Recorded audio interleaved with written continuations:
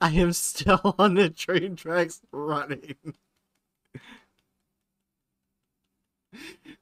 I just want to see if I actually lose the cops with three stars by running.